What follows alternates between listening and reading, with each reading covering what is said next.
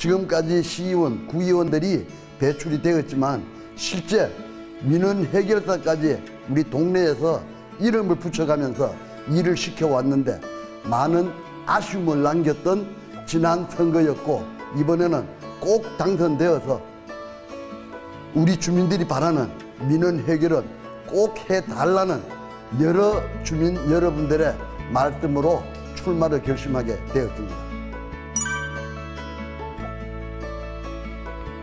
첫째, 이 3년 후면은 청천동 산곡동에 재개발로 인해서 입주하는 아파트 주민들이 약 2만 세대 가까이가 됩니다.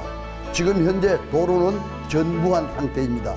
그래서 경인 고속도로에서 세일 고등학교까지 가는 우회 도로가 그게 절실히 필요하다는 말씀을 드려야 되겠고 두 번째는 우리 공병부대 부지 지금 많은 주민들께서 대형 백화점, 대형 쇼핑몰 여러 의견들이 분분한데 복합 쇼핑몰로 출마 당선되는 구, 구청장, 당선되는 시장님하고 의견 교환 만들어서 꼭 복합 쇼핑몰을 만들고 싶다라는 주민 의견에 동의를 하면서 추진을 할까 합니다.